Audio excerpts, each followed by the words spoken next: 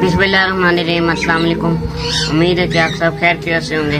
रमज़ान का महीना चल रहा है, उम्मीद है कि आप सबके रोज़े बहुत अच्छे जा रहे होंगे। तो काफ़ी दिन से डेली ब्लॉगिंग नहीं की, आज से डेली ब्लॉगिंग स्टार्ट है। कोई छोटी सी प्रॉब्लम आ गई थी मौसम भी आज अच्छा है, ठंडी हवाएँ भी चल रही चैनल को सब्सक्राइब ज़रूर करें, ताकि तमाम वीडियो अब तक जल्द पहुँच वीडियो अच्छी लगे तो उसे लाइक किया करें ये हमारे सारे कबूतर। काफ़ी कबूतर जो हैं वो सेल कर दिए हैं। जैसे किंग के बच्चे थे, बड़े हो गए थे वो, उनको हमने सेल कर दिया है। अब जो है, अंडे देना शुरू किए हैं हमारे कबूतरों ने। देखते हैं कितने अंडों में से बच्चे निकलते हैं, कितने ख़राब होते हैं, और बच्चे किस तरह के होते हैं। अलग अलग नहीं, बाहर निकालते। सभी को इकट्ठा निकाल देते हैं, फिर वो दाना खा, उनको पिंजरे में बंद किया जाता है। उनको बाहर निकालते हैं, दाना खाएँ, पानी पिए और थोड़ा सा घूम फिर लें। अगर मौसम अच्छा हो तो तब निकालते हैं, मौसम अगर बारिश वाला हो तो फिर नहीं निकालते। आज मौसम ठीक है, धूप निकली हुई है तो इनको बाहर निकालें बारिश वाले मौसम में इसलिए नहीं निकालते, ये गीले हो जाते हैं, बाद में ये बीमार होकर मर जाते हैं।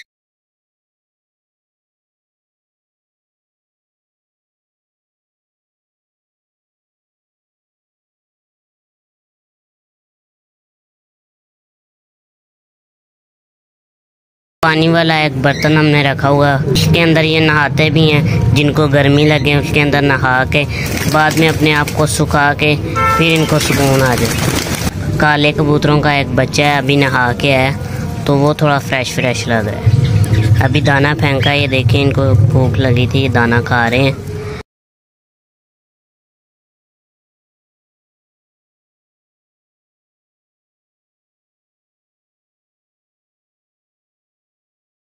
ये हैं जी ग्रीन पैरट हमारे। अब इन्होंने टॉकिंग भी स्टार्ट की है।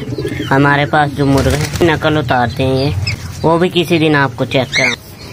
इनका जो है, हमने एक बॉक्स लगाना था, ताकि ये ब्रीडिंग अच्छी करें, कोई मसला ना हो। इनके लिए ये बॉक्स लगाया गया है। इनके पिंजरे के साथ अटैच किया है, जाली को काटा है, ताकि जो सुराख है, वहाँ से ये अच्छी तरीके से अंदर चले। ये अंडे देते हैं, के लिए मुश्किल नहीं होती इस बॉक्स के अंदर। ये हमने थोड़ा सा बड़ा लगाया। ताकि मुश्किल ना हो अंडे इसके अंदर देते हैं, इसलिए हमने ये लगाया। इन तोतों के लिए हमने पहले जो है मटका लगाया था, मट्टी का। ये बॉक्स थोड़ा बड़ा लगाया, ताकि तंग ना हो। अंडे कब देंगे? अभी जो इन्होंने एक भी अंडा नहीं दिया, ये भी लगाया कल परसों। तो ये हमने पिंजरे के साथ अटैच किया बाई से।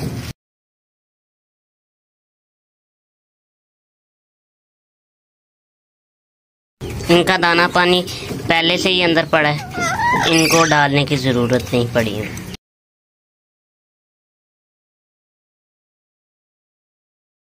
इनको दूसरे केज के अंदर हमने इसलिए नहीं रखा। इनके लिए अब यही ठीक है।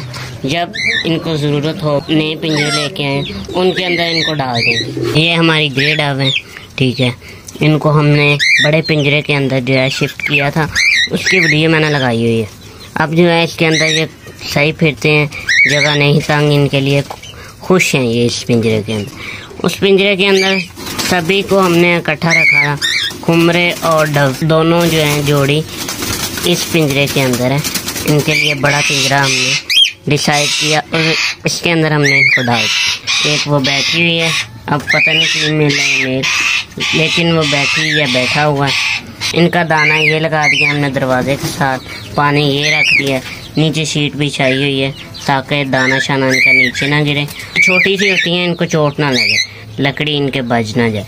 तो ये हमने एक स्टिक भी लगाई है, इसके ऊपर बैठ जाएँ। अगर बैठ सकती हैं तो बैठ जाएँ। नहीं बैठा जाता तो नीचे बैठ जाएँ। ब्रीडिंग टोकरी लगाई है।